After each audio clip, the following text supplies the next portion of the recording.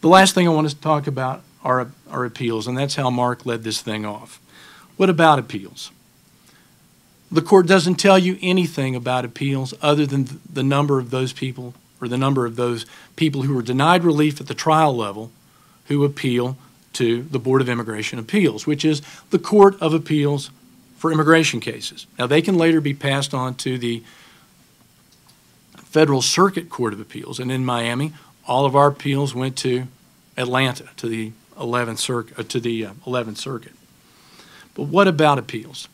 Well, specifically, this is true about appeals. The court says, or EOIR, not the not the courts, but EOIR says that appeals are very low, that very few people file appeals. That's not true either. The court said last year that 8% of all cases were appealed.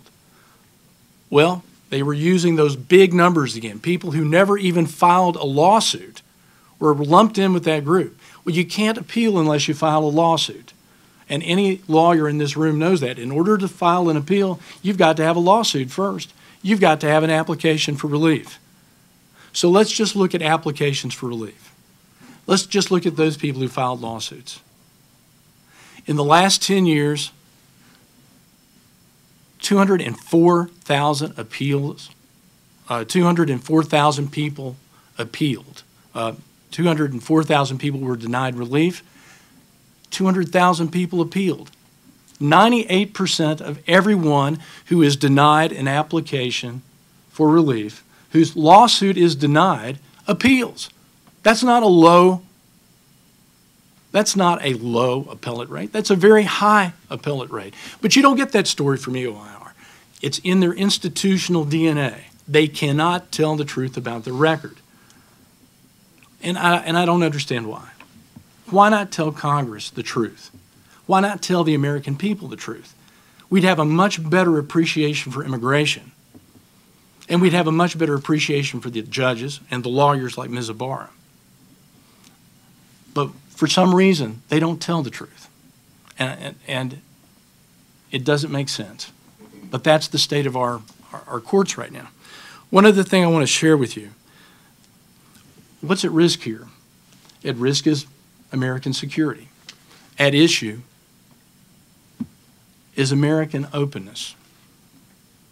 And at a disadvantage are our courts. What are needed are courts that rule with authority. When someone is ordered removed from the United States, let's take that 40% that never get any relief. Chances of any of them ever being deported is virtually nil. Now, the very fine congresswoman from Texas, who was certainly not a Republican, and certainly a student of history and of, of immigration itself.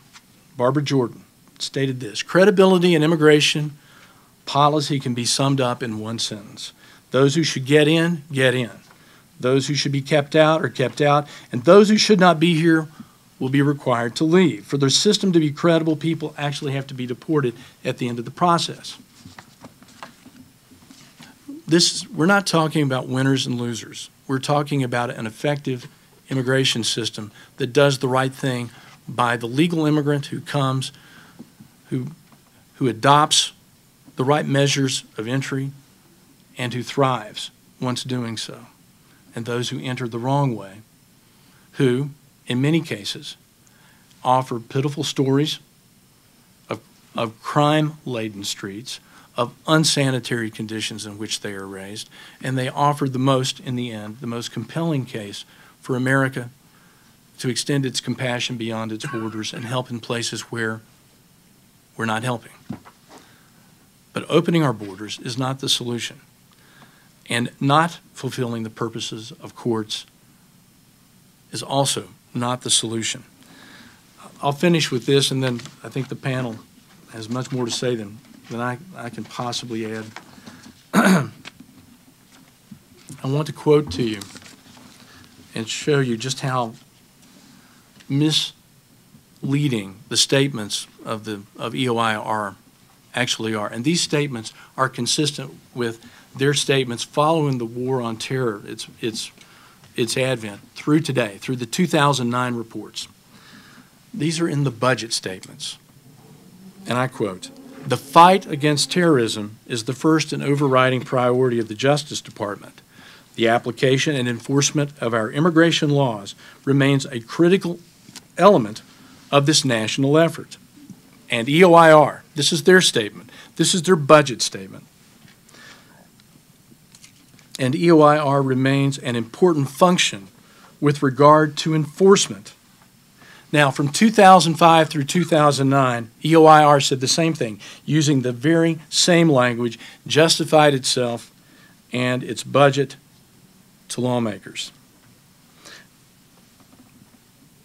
But as usual, EOIR's actions never matched its words.